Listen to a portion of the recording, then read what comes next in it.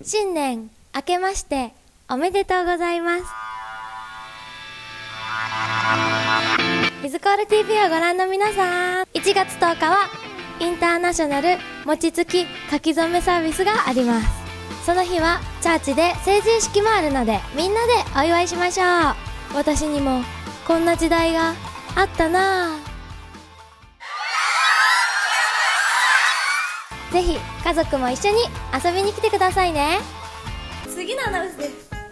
毎週水曜日6時半からラングエクチェンジがあります。英語が好きな人も韓国語が好きな人もぜひ皆さん遊びに来てくださいね。